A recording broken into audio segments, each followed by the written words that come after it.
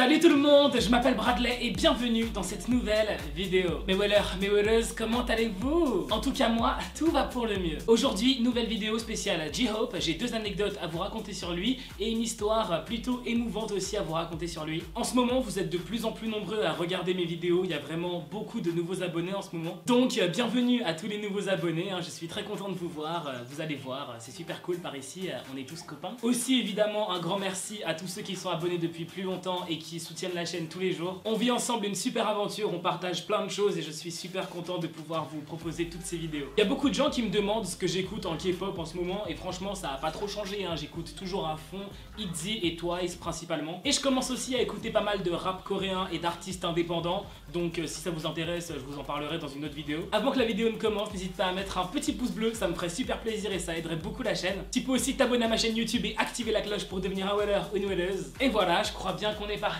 pour cette nouvelle vidéo.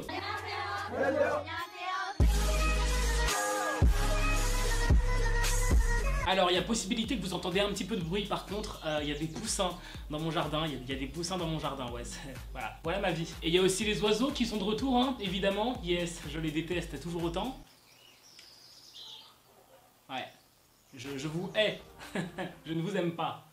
Donc ouais, je voulais commencer cette vidéo par vous raconter deux anecdotes sur J-Hope pour que tout le monde sache que ça n'a pas toujours été facile pour lui. Par exemple, il faut savoir que le père de J-Hope était totalement opposé à ce qu'il devienne danseur. Genre son père le soutenait absolument pas. Mais heureusement, sa mère l'a toujours soutenu. Sa mère est même carrément partie travailler à l'étranger pour gagner un peu plus d'argent et aider J-Hope à réaliser ses rêves. J-Hope était tellement reconnaissant envers sa mère qu'il lui a consacré une chanson entière qui s'appelle Mama. Aussi, il faut savoir qu'en 2014, pour lui souhaiter son anniversaire, les membres de BTS ont fait des petites vidéos pour J-Hope. La famille de J-Hope était aussi dans le coup, donc pour lui c'était son anniversaire. La famille de J-Hope lui a envoyé des vidéos où euh, il lui souhaite son anniversaire. Pendant qu'il regardait ces vidéos, J-Hope retenait ses larmes parce que voilà, il voyait les membres de BTS et les membres de sa famille lui souhaiter son anniversaire et ça faisait quand même un an qu'il travaillait dur pour BTS et qu'il avait pas vu sa famille. Genre tu vois pas ta famille pendant un an, tu reçois des vidéos d'eux qui te souhaitent ton anniversaire, bah voilà, t'es un peu ému, c'est normal. Et là, J-Hope se rend compte que son père lui a aussi envoyé une vidéo où il lui souhaite son anniversaire et son père lui dit qu'il est très fier de lui. Et c'est vraiment là que J-Hope s'est mis à pleurer à chaudes larmes parce que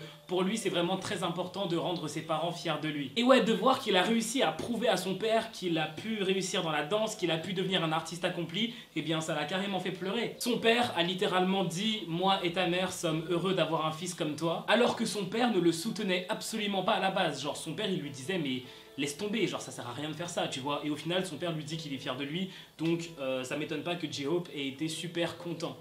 Passons maintenant à ce que vous avez pu voir dans le titre. Personnellement, c'est une histoire qui me touche beaucoup. Je vais vous parler du jour où J-Hope a quitté BTS, car beaucoup de gens ne le savent pas, mais avant les débuts officiels de BTS, J-Hope a quitté le groupe. Il faut savoir que la période d'entraînement avant le lancement d'un groupe de K-pop, eh bien c'est une période vraiment très éprouvante, vraiment très difficile. Les stagiaires passent 10 heures par jour à s'entraîner et ça fait souvent plusieurs années qu'ils sont loin de leur famille. Et tout ça a eu raison de J-Hope. Donc un jour, J-Hope est arrivé à l'agence et il a annoncé qu'il quitte BTS. Il a fait un gros câlin à Jungkook, Jungkook a pleuré, J-Hope a pleuré avec Jungkook et J-Hope Tout ce que je vous raconte, c'est tiré d'une discussion de BTS qui a été filmée et publiée sur YouTube Red. Au final, ce qui s'est passé, c'est que RM est allé voir les directeurs de leur agence et RM a clairement dit à l'agence Bon, écoutez les gars, on a besoin de J-Hope. Genre, c'est pas possible de faire le groupe sans J-Hope. Sauf que l'agence, elle était un peu en mode euh, Bah écoute, RM, t'es bien mignon, mais. Euh, il s'est barré quoi, je veux dire on va pas le forcer à faire partie du groupe s'il en a pas envie. RM raconte qu'à cette époque-là il a dû travailler très dur pour que l'agence comprenne que J-Hope est indispensable. J-Hope raconte qu'il a fini par revenir dans le groupe BTS parce qu'il faisait confiance aux membres de BTS et qu'il voulait vraiment continuer cette aventure avec eux. Ça s'est vraiment joué à rien, aujourd'hui J-Hope aurait pu ne pas faire partie du groupe et je pense qu'on est tous très heureux qu'il fasse partie du groupe, genre j'en suis sûr on est tous très heureux que J-Hope fasse partie du groupe. Personne ne peut imaginer BTS sans J-Hope, ça n'existe pas. Et ça montre aussi qu'une simple décision peut changer absolument toute ta vie. Genre, imaginez si J-Hope avait décidé de ne pas revenir dans le groupe. Bah peut-être qu'aujourd'hui BTS ne serait pas aussi populaire. Ou alors peut-être que si, BTS aurait pu devenir très populaire et J-Hope aurait vécu dans le regret de ne pas faire partie de ce groupe. Pour moi, la morale de cette histoire, et c'est vraiment ça que je voulais vous dire, c'est pour ça que je vous raconte tout ça, c'est que dans la vie, il faut oser. Vraiment, il faut oser faire les choses. Je sais que beaucoup de gens sont frustrés, que beaucoup de gens sont tristes parce qu'ils trouvent que leur vie est ennuyante et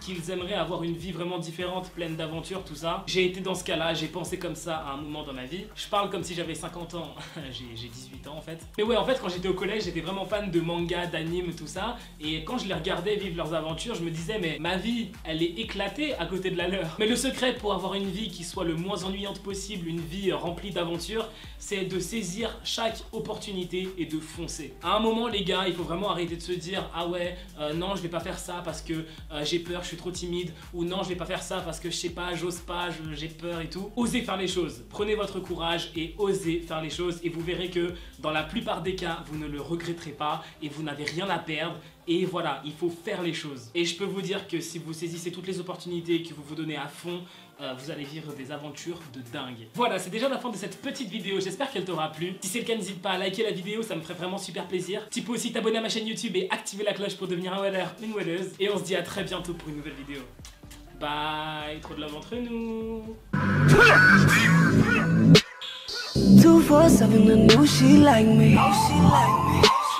Three, six, five, wanna be my wifey.